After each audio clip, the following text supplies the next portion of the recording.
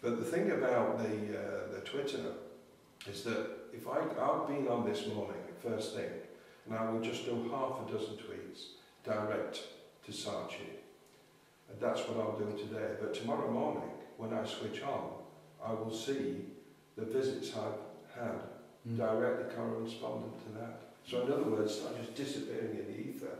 You do something here mm. with that tiny bit of marketing can see a reaction straight away. Yeah. Now that is really, really good.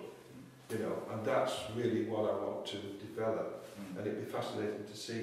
Even though as an artist you're not sort of selling a service and you're not being really business orientated, but actually it is a business, mm. you know.